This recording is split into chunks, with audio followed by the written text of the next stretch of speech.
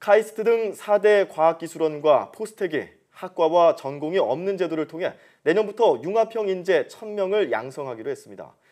과학기술정보통신부는 제2차 과학기술원 4차 인재위원회를 열고 이렇게 결정했습니다. 이에 따라 카이스트는 기초과학과 공학 지식을 바탕으로 복수 전공을 하는 융합 기초학부를 설치하고 올해 신입생을 대상으로 시범 운영할 예정입니다.